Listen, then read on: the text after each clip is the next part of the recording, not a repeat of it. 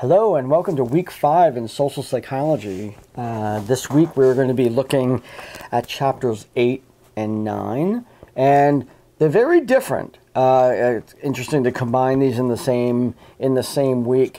And um, so, looking at chapter eight, we're we're actually talking about one of my favorite uh, developmental psychology concepts, and that is theory of mind.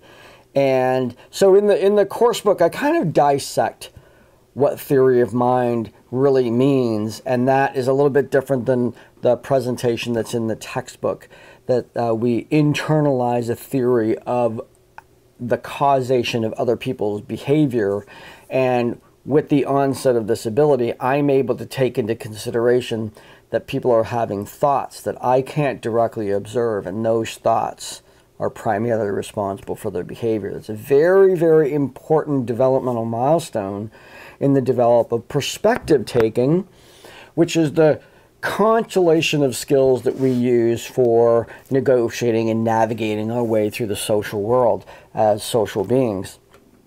So, in the chapter, I talk about a set of tools that we use that are on a hierarchy, kind of looks like uh, Maslow's hierarchy a little bit, another little triangle, you know, going up in terms of the various skills that we use as we navigate the social world in order to understand our place in it, the expectations of others, our expectations of them, causation of their behavior, causation of our own behavior, and kind of moving from that centric world that exists when we're really young into a much more dynamic and um, uh, more interactive world uh, as we grow into the to the social interactions that that kind of constitute adulthood.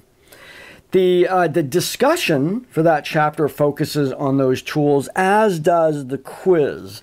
So the discussion is to look at those different tools and how we use them, and the quiz is for you to come up with a new situation in which you had to learn the nuances in a new social situation. So you think about when you got a new job or when you started KV or even this, you know, even transitioning from a face to face class into an online world, learning the new ways and how you used those skills that are in that triangle to navigate in that into that new social world.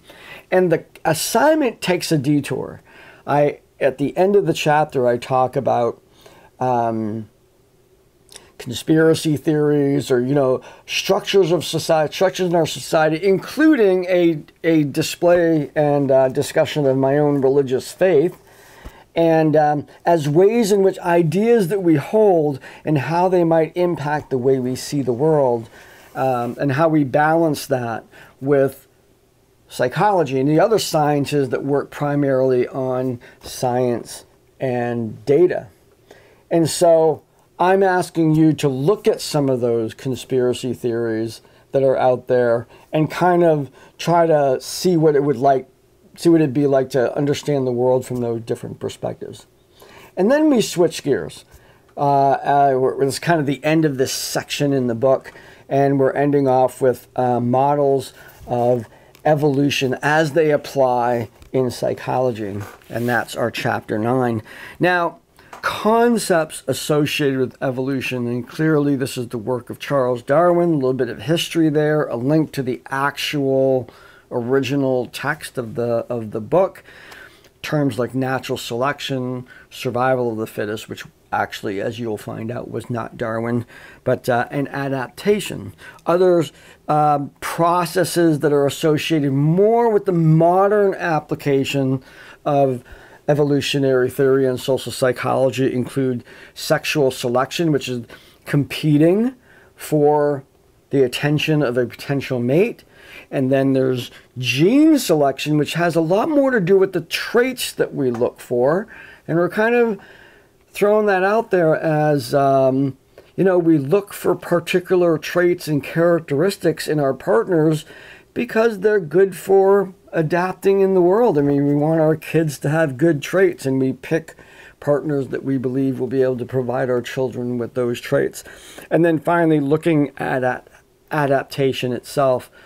In the discussion, we discuss those things, and in the quizzes, I'm asking you to again look at your own um, experiences in terms of uh, adapting to a new environment? And, and how did you have to change uh, the way you were doing things? So kind of that's the connection between these two. I'm asking you to actually look at the in chapter 9 i'm looking at chapter 8 i'm sorry you look at new situations from the perspective of theory of mind. And then in the second one we're looking at okay how did i adapt this? But you're looking at it through a different lens. You might even use the same situation. That'd be kind of interesting.